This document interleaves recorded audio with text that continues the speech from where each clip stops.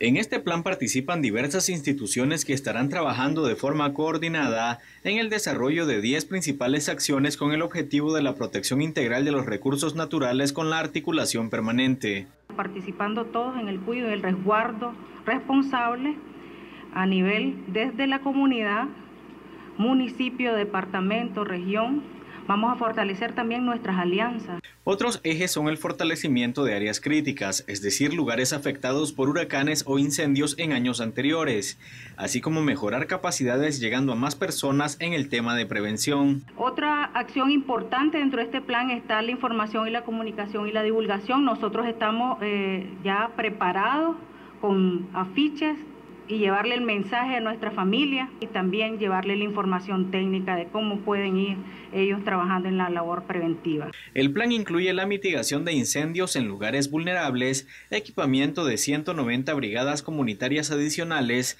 así como el monitoreo a través de plataformas de control de incendios. Nosotros tenemos que proponernos reducir la cantidad, la intensidad de los incendios forestales y agropecuarios no solamente para no ver fuego, sino por todas sus implicaciones, el impacto que tiene en el ambiente, en el clima, en el agua, en fin, inclusive en nuestra salud mental. Esta comisión estará sesionando semanalmente para lograr sus objetivos, que permitan ir reduciendo la cantidad de incendios forestales y agropecuarios, lo que garantiza la calidad de vida de las familias y la biodiversidad.